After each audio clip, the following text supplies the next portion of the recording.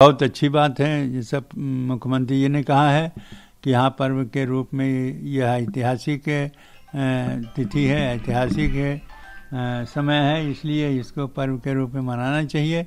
और इस दिन शराब के दुकानें बंद रहना चाहिए। साथ ही साथ जो बच्चे हैं, उनकी भी छुट्टी होनी चाहिए। और इसलिए यह कार्य जो घोषणा मुख्यमंत्री जी ने किया है, बहुत अच्छी है। क्योंकि जब जब आते हैं तो अयोध्या के लिए कुछ न कुछ सौगात दे जाते हैं। उसी में यह भी है कि वो ऐतिहासिक तिथि है, जिस दिन रामलला की प्राण प्रतिष्ठा होगी और वह अपने भव्य मंदिर में विराजमान होंगे। यह अपने आप में अद्वितीय और विलक्षण है।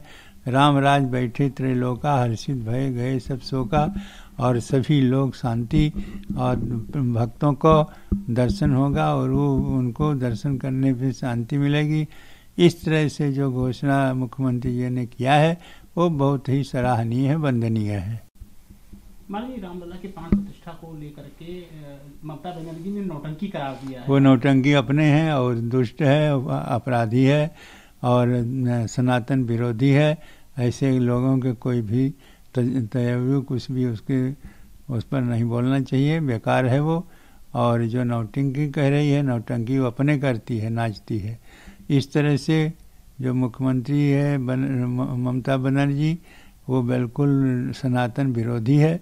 इसीलिए भगवान राम के प्राण प्रतिष्ठा और उनके भवदी मंदिर विराज होने की बात वो नौटंकी बना रही है जो जो एकदम घोर निंदनीय है।